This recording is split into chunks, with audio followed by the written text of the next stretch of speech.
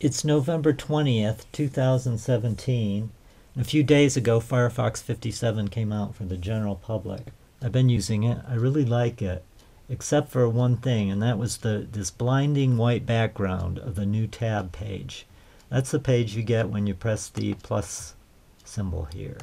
And for the last six months or so, I've been using that more on my home page. So uh, if mine looks a little different from yours, first of all, my Firefox has a dark theme. So that's why there's so much darkness at the top. And up here, I, only, I have a lot of things turned off in my new tab preferences. So you can go up here and configure this page. Now, this isn't a really easy fix. So if you're not very technical and haven't been doing this for years, it might take you about a half hour to do this procedure, to turn the background to a different color. But if you're technical, it should only take about five minutes. So here's how it's done. First of all, you have to make a file with the code in it that we're going to put in a style sheet for Firefox 57. So to get the code for that file, below my video, you're going to have to uh, copy that code that I put in there.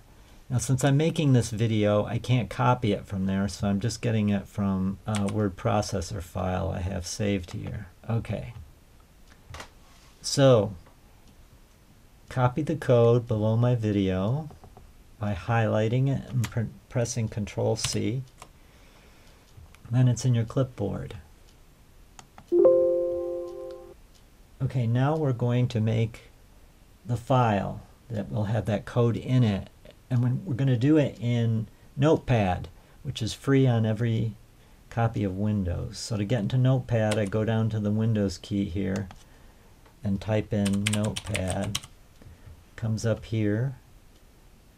Click on it twice. And Notepad opened in my bar down here. So I opened up Notepad and then just press Control V to copy that code into Notepad. Now go up here to File and we're going to do Save As. Go down to here where it says Text Documents. For the type we're going to save it as and say All Files instead. Go up here for the file name and type in user content. I put capital C on content CSS. Okay, now you can tell where it's being saved by this uh, hierarchy up here, and I have mine in documents, so I know where my documents folder is. So you have to save this in wherever you can find this file which is going to be called usercontent.css. You have to write down the name of that file. So I'm going to save that in Documents.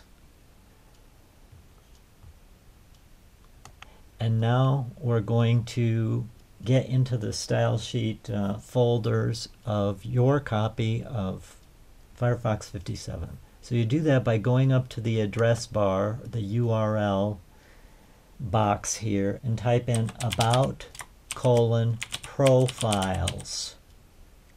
Press enter. Okay, I have two profiles. You may only have one. But if you have two, I'd use the bottom one. You see where it says root directory here? Go over to open folder. It opens up this uh, directory of the folders in your Firefox. And if you don't see a folder named Chrome here, I know this is Firefox, but this folder is called Chrome. We're going to have to create that folder. I'm going to create a new folder here. And it's going to call and C-H-R-O-M-E, Chrome. So I've created that folder. Now I'm going to drag this box over here uh, with that thing, and I'm going to reduce my Firefox up here and I'm going to open up the folder which for me is called documents. And that's going to have that file we made called user what was it? User content CSS. So I'm going to click that once just to highlight it and then press Control C to copy it. Now going back over here to the Chrome folder, I'm going to open that up by clicking it twice. Then I'm going to press Control V to copy that that file which contains the code. Then you're all set. Then you can close out here. I'll just click on it to show you the code inside it. See, there's the code we made in that file. But then you can close out here and go back to, I'm going to open up Firefox. I'm just going to reopen Firefox here.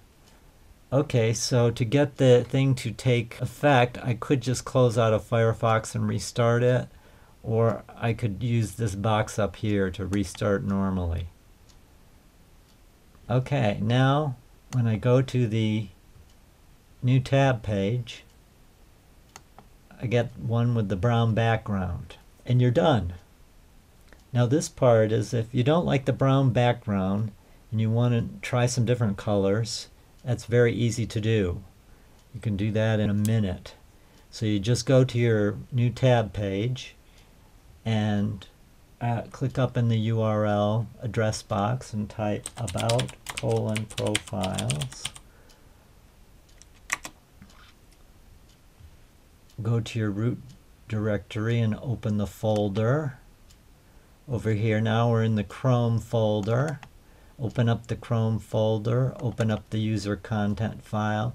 See where it says background color colon and it has a hex code.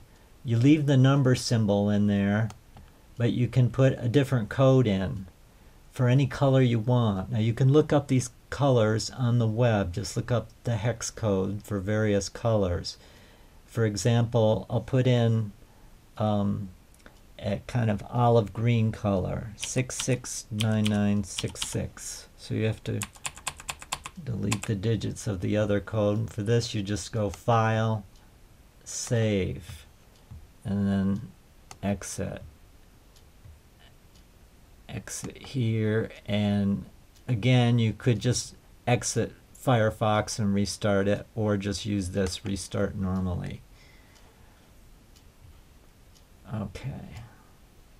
So we're back here and now when you do the new page, you got this kind of green color. And that's all there is to it.